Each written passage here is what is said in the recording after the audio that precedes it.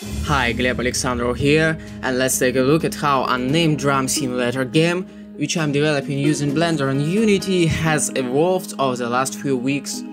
It's really exciting to see how the parts of the game are coming together. Interface design, some bits of working code and all this stuff are converging into something that can be called a game. The first thing I would like to talk about is visual improvements. Pretty basic stuff, diffuse texture with backlighting, but for some reason it makes drumming more fun, believe it or not.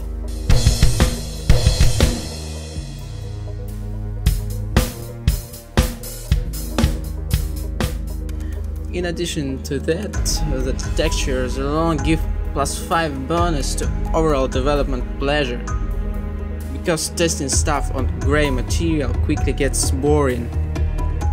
Tasty visuals actually help to move on and make it progress, because sometimes working with placeholders just doesn't represent the feel of the complete game. Of course, while prototyping, it's completely fine to have all kinds of temporary stuff that will be eventually replaced by artistic assets, but, but anyway.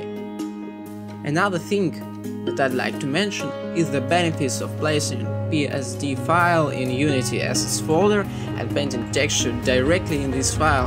Uh, the idea is that if we pick PSD file as texture, we can change layers order, add something, hit save and see our changes in Unity right away. Our file with all its layers stays intact. It doesn't get collapsed or something. It's kind of fast way to tweak the texture. Of course, instead of placing PSD file in the assets, we can write an action to quickly export, say, PNG file, but the main principle will stay the same. It's quick iteration.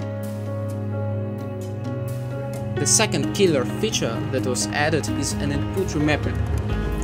It means that we can now remap input. How cool is that? This one was tough, as for now Unity Input Manager can't be scripted and manipulated in runtime natively. And it's insanity if you ask me. One of the possible solutions to this problem is cInput, custom input plugin in for Unity. If you are struggling with an input like me, give it a shot.